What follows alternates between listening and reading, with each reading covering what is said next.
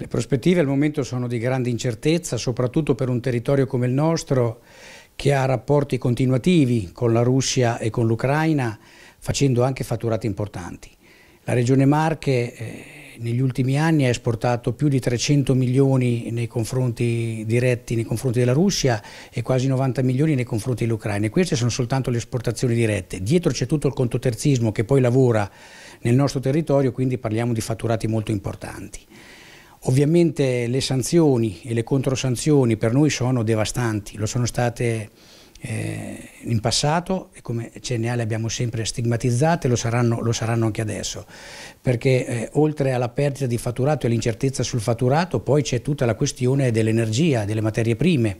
Considerate che ieri, dopo un decennio che il petrolio è ai massimi livelli, comunque si è attestato sopra i 100 dollari al barile, è arrivato a quotare fino a 105, poi si è fermato a 102. Il gas eh, ad Amsterdam ha fatto più 51%, oltre 100 euro eh, a megawattora, quindi tutto questo sicuramente si ripercuoterà negativamente sulle bollette delle nostre famiglie e delle nostre imprese che già erano al limite e non riuscivano a supportare eh, gli aumenti indiscriminati che c'erano stati negli ultimi mesi. Quindi la situazione è molto molto preoccupante, soprattutto per una regione come la nostra, ancora di più per una provincia come la nostra che ha fatto di quei paesi comunque un partner economico-commerciale fondamentale, un pilastro negli ultimi anni. Io lo posso dire perché da cinque anni sono diciamo, il rappresentante in Italia della Camera di Commercio e dell'Industria Nazionale Bielorussa. La Bielorussia insieme alla Russia, all'Armenia, al Kazakistan e al Kirghizistan fa parte dell'Unione Doganale Eurasiatica.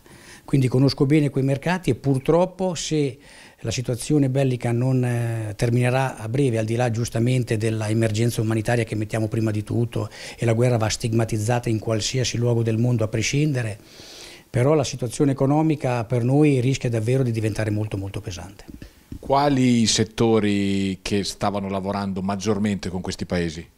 Assolutamente i settori manifatturieri, meccanica e mobile, che tra l'altro nel ruolo che ricopro anche come presidente di Tecne, l'azienda speciale della Camera di Commercio delle Marche, proprio per questi due settori stavamo lavorando bene, abbiamo fatto anche degli incontri eh, B2B e dei webinar eh, con gli operatori di quei, di quei, paesi perché sono mercati interessanti. Nonostante un calo che c'era stato negli ultimi 7-8 anni, il 2021 rispetto alla Russia aveva fatto un più 21% per la nostra manifattura. Quindi la situazione è davvero preoccupante e bisogna assolutamente scongiurare che questa guerra vada avanti.